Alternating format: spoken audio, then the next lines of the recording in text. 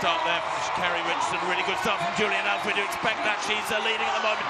Sha'Carri Richardson coming better and getting ahead and winning comfortably. A one-meter win there for Sha'Carri Richardson. 10.83 for Sha'Carri Richardson.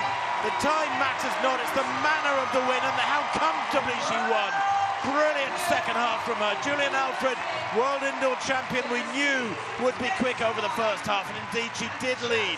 But Sha'Carri Richardson carry, uh, sort of caught her up, hoovered her up almost through the second half very quickly, and then eased away from a top, top field. There it is, a season's best for Richardson, 10.83, a really comfortable win ahead of, win ahead of the uh, world indoor champion, Alfred solid start from Coleman, just eases away from Omanyala. Omanyala, the powerful Kenyan, just beyond him, has got some work to do in for. Omanyala trying to come back at him, and he is coming back at him, but he runs out of track. Great run there from Coleman. Yeah, it was interesting, wasn't it? Uh, you know, the 100 metres hasn't really caught light yet, has it, this year so far? We've got plenty of time to go, and Coleman will be delighted with the win here. But Omanyala, who's normally, you know, he gets out as well, but we know Coleman is so good out of the blocks. But Omanyala is very strong here in the last 20 metres and almost gets there. Both of them under 10 seconds, which is good, as you were saying. It's a bit cool. Nice following win, plus 1.2. But that's a step forward for Coleman, I think. And winning is a great habit to be in. 9.95 for Coleman. Omanyala rewarded with a, a sub 10 second clock, albeit he'll have liked preferred to win that one. But that's a fine contest, if not super fast. Good start from Holloway, bad start from Parchment. Zamir of Japan, good start from third to left, but Holloway going away with this one and moving further away. Can hold this together. Cunningham going well in two, but uh, Holloway's leading this one, winning by a metre and more.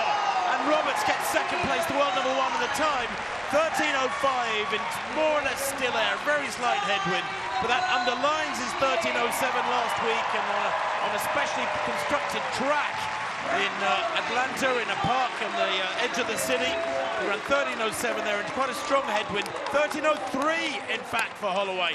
That is the quickest time in the world this year by almost a metre and that is a very, very dominant run. Easily, I mean, Parchment was absolutely nowhere, doesn't get out of the blocks, he's obviously got a bit of work to do. He just finished uh, strongly Parchment, but that first, up to that first hurdle really gave him no chance. Watch Bednarek with that headband in seven. Very, very strong. Great 100, 200 and 400 metre running. Great running from Courtney Lindsey, though, in lane six. The world number two this year. Bednarek goes strong through the second half of the turn. Holding the lead at the moment. Lindsey trying to come back at him desperately, but Bednarek's strength easing him clear by a metre and a half at the line. And the time, 19.89. Of course, in the men's sprints in the US, they've got to be good uh, you know, fairly early season, certainly going into the trials because it's tough to make the team. But if he can keep this going, he's going to be right up there with a great chance at the Olympics. Well, there it is, Bednarek 1989, nicely separated from the rest by the 22nd Barry. Lindsey King and Van Bula, second, third, and fourth. The one, two, three for the USA, though. Those US Olympic trials, by the way, getting underway. Mägi gets a pretty slow start, the Estonian, in lane six, and already up on him. CJ Allen and Roshawn Clarke starting very, very quickly as well. Mabel Clarke has just got a slight advantage just watching them rise down the back straight. The young Jamaican really has attacked this hard through the first 200 metres already, and he's just moving alongside CJ Allen, who you would expect certainly to contend here, but Clarke showing that he has the maturity at age 19. He's just getting better all the time, full of confidence, hurdling beautifully as well. So it's Clarke who comes into the lead in the home straight. CJ Allen's always very strong over the last couple of barriers, and also going well is Drummond. And it's Drummond now starting to drive on. Mägi's finishing quickly. Clarke just checks it, and that hits it hard, and it's going to be Drummond who comes away. Mägi's going to come through for second place. Drummond takes the win. That's a surprise, 48-57.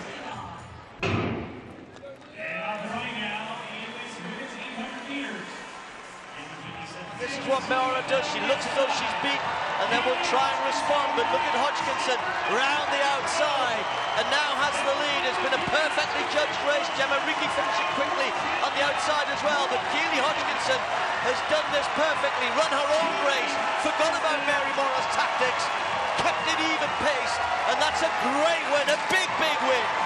155.78. Mora second, Reekie third. That's how to do it. Ignore Moraa's tactics. Don't go with her on the first 400. Stick to your plan. and then finish strongly. That momentum, that swing through when Mora has slowed, don't stop, just go past and keep going, and that's what she did. That was brilliant. Normally Ingebrigtsen would come to a race like this and demand the pace the technical meeting yesterday, everyone looked around the table. He said, no, he's not asking for a pace, and neither did Kerr ask for a pace, so they are going to go 153. Has Ingebrigtsen got anything? Normally from this part, you'd back Josh Kerr in the home straight, and he's ahead of the Norwegian. This is great running, though, from Ingebrigtsen. Josh Kerr's battling it out. Ingebrigtsen trying to get there. This is going to be so close. It's going to be incredibly fast as well. Josh Kerr heading for a very quick time. Josh Kerr That is a new British record. Once held by Steve Cram. And I'm so pleased that Josh Kerr has been able to hold off. And I have to say, an impressive. Let's hand it to Ingebrigtsen. That was tough. On their way to head down towards 14-minute territory. Remember the uh, world record. 200 metres to run. Now the strong runners in one and two. The speedster in third. Have they eased the speed out of her legs over these last four or five laps? It looks like they have. And we have a battle now between Gebreselama, Sigi Gebre Salama, the half marathon specialist, the stronger of the two. Got the legs against Taye here? It's a real battle through the last 50. Taye on the outside. Gebreselama makes it down to strength and takes it by a metre. 14.18, the fastest time. First six home in the women's 5,000 metres then from Ethiopia. Sifan Hassan, the first non-Ethiopian for the Netherlands, finishing in seventh place in 14.34. Back to the drawing board for her, but we don't know what she's doing in training. Confirmation of that win for Gebreselama, a world lead. And 23.03 came in round two. That's the world lead for the 34-year-old. He's in wonderful form. I think a couple of times he's in recent years he's looked at retiring, but he keeps coming back out. His 14 family members have booked tickets for Rio, the Olympic Games, even before he made the standard for the uh, Olympics. He can be confident. Can he go better? He may have done. Wow. Confidence is a wonderful thing. Winning is a great habit. And he's going to take some unseating from this sort of form. It's a lovely series. His fifth round effort was at 22.53, 23.13. He's so close to his lifetime best.